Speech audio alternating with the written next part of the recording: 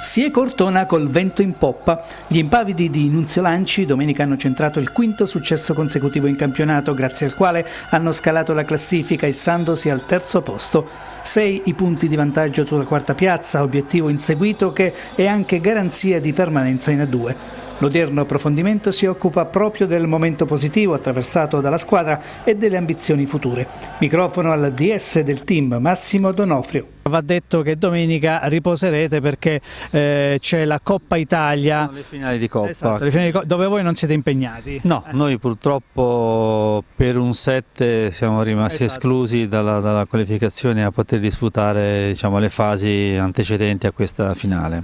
Tornerete in campo domenica 17 in trasferta a Cantù. Voi venite da una trasferta vittoriosa a Catania, era uno scontro diretto in chiave quarto posto, ricordiamo che la quarta posizione eh, è preziosa perché dà la permanenza eh, garantita in Serie A2. Avete vinto 3-0 questo scontro diretto, Sì, gara diciamo- perfetta. Diciamo di sì, diciamo che questa vittoria viene come quinta vittoria consecutiva. ehm, le precedenti cinque partite anche inframmezzata dalla sconfitta con Bergamo ci aveva vista sempre comunque in campo vittoriosi, quindi eh, in questo è un momento molto, molto positivo che stiamo vivendo e che per fortuna viene dopo una fase iniziale del campionato che ci aveva visto un po' in difficoltà.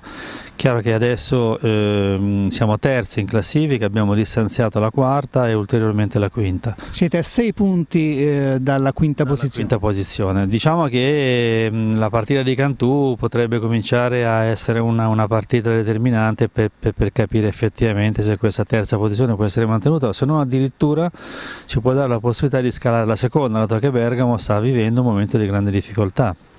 Sta perdendo e quindi abbiamo, ora siamo a sette punti dalla seconda posizione. Ecco, questo è un momento estremamente positivo, questa striscia di cinque successi consecutivi, eh, secondo te Massimo da cosa è dipeso in questo girone di ritorno? Perché sta andando così bene la squadra? Ma allora diciamo mi dovevo chiedere come mai andava così male prima, più che altro, nel senso che questa è la vittoria del gruppo e della squadra, perché non ci dimentichiamo che noi abbiamo di nuovo avuto un infortunio importante a Ludovico Dolfo, che quattro partite che non gioca nonostante la sua assenza. Quando rientrerà?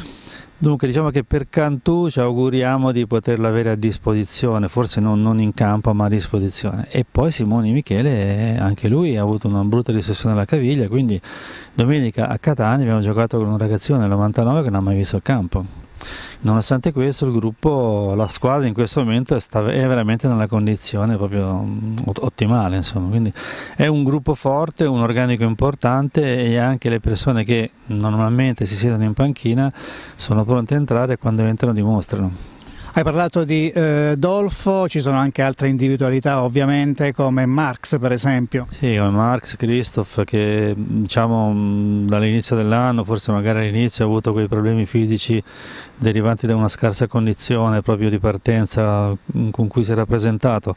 Adesso sta dimostrando di essere sicuramente uno degli opposti più forti del campionato. Poi Ogurchak e Ferro che sta facendo spesso e volentieri la differenza nei momenti determinati dell'incontro e, e poi ti ripeto anche chi entra anche in battuta come Fiscon che nella partita scorsa con Gioia è entrato in battuta e ha fatto 5 ace quindi insomma quando hai a disposizione giocatori che riescono a strappare in questo modo nell'arco di un set e poi diciamo, riesci veramente a vincere L'ultima Massimo sul pubblico, sull'ambiente di Ortona che ha sempre vissuto con tanta passione le vostre imprese, come insomma stanno rispondendo sicuramente molto bene, no? Sì, sicuramente più del- dell'inizio dove insomma anche um, a causa dei risultati magari la delusione certo che ancora non, non- non- non- non abbiamo visto il pubblico di tre stagioni fa insomma e, e noi ci auguriamo ogni volta che entriamo in palestra per disputere una partita di, di poter rivedere il palazzetto strapieno come, come- come eravamo abituati a vedere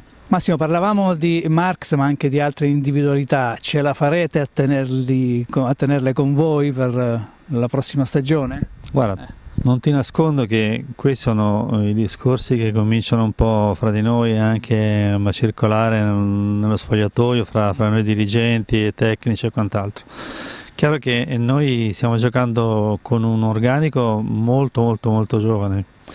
Eh, il tedesco è del 97, abbiamo un centrale che sta entrando nel 99, eh, Mattia è un Sorrenti un 96. Eh, sono ragazzi assolutamente interessanti e un gruppo eh, che mh, tolto un paio di giocatori un po' più importanti diciamo, e grandi può veramente continuare a rimanere unito e garantire una continuità. Il nostro intento è proprio quello di già orientarci sull'anno prossimo per vedere di mantenere questo nucleo diciamo, di, di, giocatori, magari inserendo giusto quel, quel, tassello uno o due che possono andare a, a impreziosire ulteriormente questo gruppo molto forte provo a fare il tifoso e a sognare un po' mm, come società, come potenzialità, la Sieco Impavida Ortona eh, potrebbe anche eh, sognare di andare nella massima serie eh, in A1 eh, oppure la sua dimensione è questa? Ma noi sognare non costa niente e sicuramente se giochiamo ogni partita cercando di vincere, eh, vincendo continuamente, il, il, rischio è proprio quello di vincere un campionato. Ti parlo di rischio perché sarebbe una cosa meravigliosa, bellissima, ma che comporterebbe chiaramente delle problematiche importanti a livello proprio di gestione anche economica della situazione, perché parleremo di costi enormemente più alti ma anche di una struttura eh, per esempio il palazzetto non è idoneo per fare la Superlega. Quindi diciamo che noi mh, mm, giochiamo con una logica di volerci divertire e ci divertiamo chiaramente vincendo.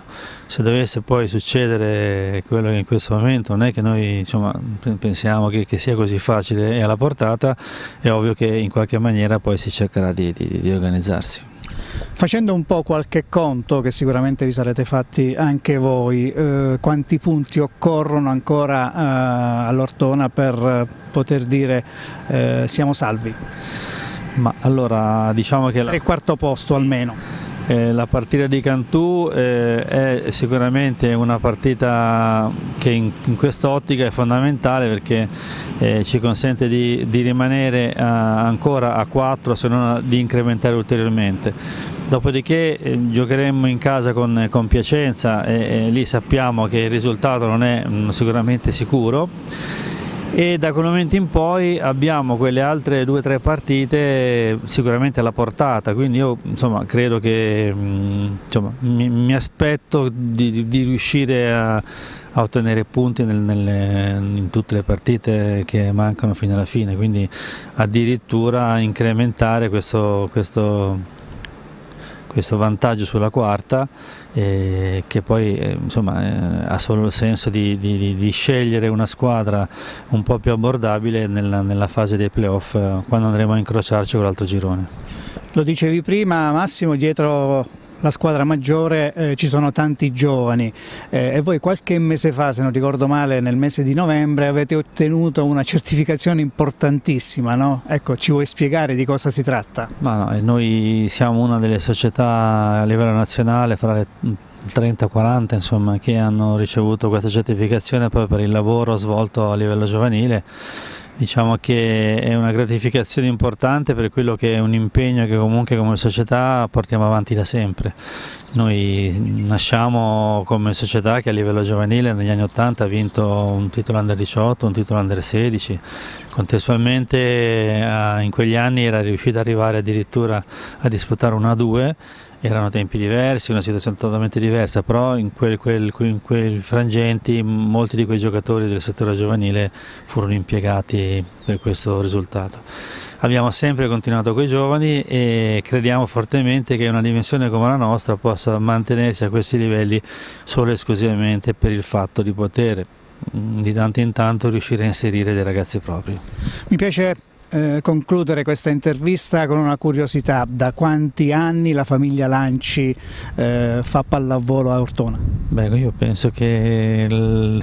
sono una trentina di anni, forse più, nel senso che il presidente è presidente da, da, da credo da una quindicina quasi, però Tommaso Lanci eh, diciamo, è sempre stato coinvolto nel, nell'Impavida anche quando mh, appunto era eh, per lavoro imbarcato e, e quindi non era mh, costantemente presente, ma aveva sempre da, da, da allora sostenuto anche economicamente insomma, la, la società poi coi figli Andrea e Nunzio che hanno iniziato a giocare e, e, avendo cambiato poi la sua tipologia di lavoro, rimanendo quindi non, non più imbarcato ma a terra, si è sempre più impegnato e, e da, ripeto, da una quindicina di anni in maniera assolutamente attiva come presidente.